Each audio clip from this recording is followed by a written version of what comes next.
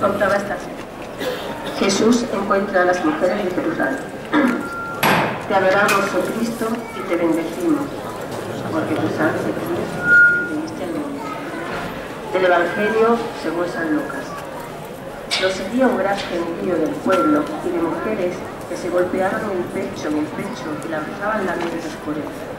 Jesús se volvió hacia ellas y les dijo, hijas de Jerusalén, no lloréis por mí, llorad por vosotras y por vuestros hijos.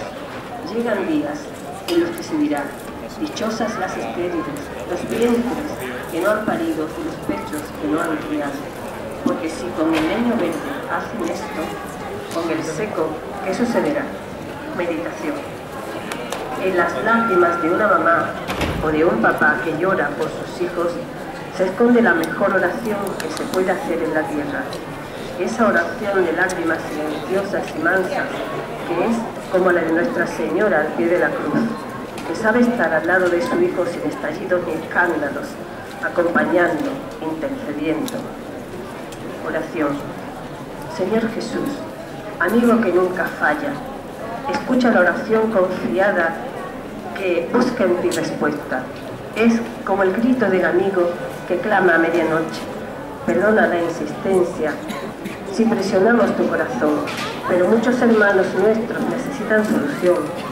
Permítenos rezar por ellos e interceder en su favor y que no olvidemos nunca que juntos buscamos a Dios. A ti Jesús, que te conmueves por nosotros. A ti gloria y alabanza con el Padre y el Espíritu, hoy y siempre, por los siglos de los siglos. Amén. Padre nuestro que estás en los cielos, santificado sea tu nombre, venga a nosotros tu reino, hágase tu voluntad en la tierra como en el cielo. Danos hoy nuestro pan de cada día, perdona nuestras ofensas,